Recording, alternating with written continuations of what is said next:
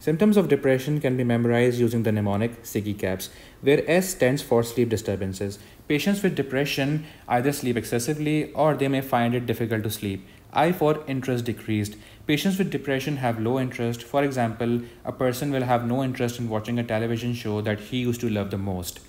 G for guilt or worthlessness. Patients with depression have a constant feeling of guilt and worthlessness. E for energy decreased. Patients with depression have low energy, they find it difficult to get up and do their tasks. C for concentration decreased. Patients with depression have impaired concentration, they are not able to focus on their tasks. A for appetite changes. Patients with depression either eat excessively or their appetite is decreased. P for psychomotor retardation or agitation. Psychomotor retardation means that a person slows down. So the patients with depression tend to have slow speech and there is decreased motor activity. Psychomotor agitation means that the person becomes irritable and aggressive.